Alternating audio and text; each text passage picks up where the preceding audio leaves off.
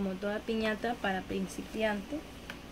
Ya en otros videos anteriores ya está cómo se le pone la cartapesta o una capa de periódico o un papel blanco, lo que tengas.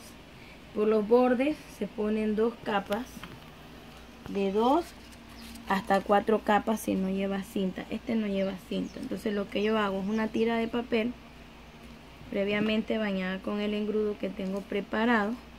Lo unto, lo doblo y así ya me queda de dos a cuatro capas. Y solo pongo de este extremo y bajo al otro extremo tapando eh, donde yo hice las uniones. Entonces así le hago a todo este borde y al otro borde.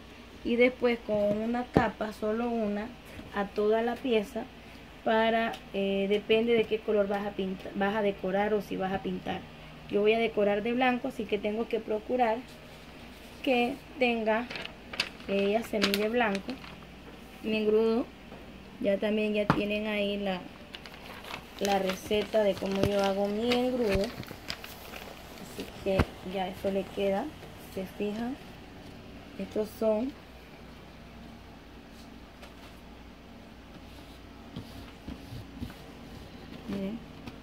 entonces lo que yo hago la doblo a la mitad puedo cortar tira y tira y ella ya está en doble entonces eso me simula que es dos capas a esto se le llaman dos capas. Si tú quieres hacer cuatro pones dos juntas y son ya tus cuatro capas y la vas poniendo sobre tu piñata y ya van cuatro capas y así la vas haciendo a toda la pieza hasta terminar los contornos una encima de la otra para que cuando sequen queden compactas, queden bien unificadas.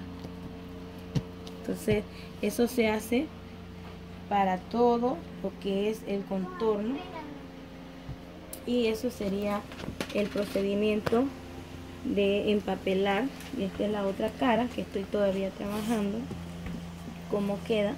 Bueno el engrudo que tengo es un engrudo eh, bien grumoso así que eso es solo para lo que es empapelar. Si ya vas a empapelar la parte de enfrente entonces igual untas tu hoja con tu papel engrudo. Procura que no se arrugue demasiado pegas y vas estirando. Si vas a forrar capas eh, una capa sobre la superficie plana y completa.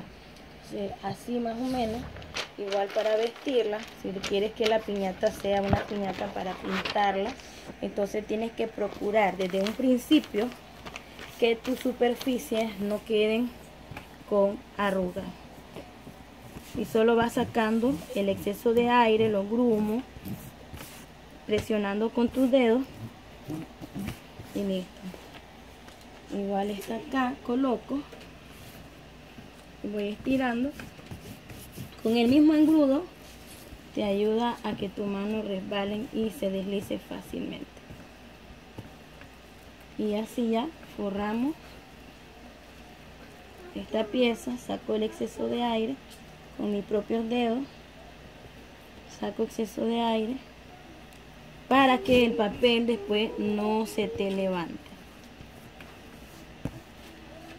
Bueno, en este procedimiento hasta aquí ya él está listo para secar y solo vestirla y decorarla como a ti te gusta. Ya este, ya este paso ya terminamos con ella. Ya en la parte de los bordes solo sería ir cerrando con papel, forrando y eso sería todo. Ya tenemos nuestra cabeza de unicornio forrada, así que aquí yo voy a volver a pasar una para que se me quite esas manchitas y eso sería todo hasta aquí en lo que es estructura y ahora vamos a pasar a vestirla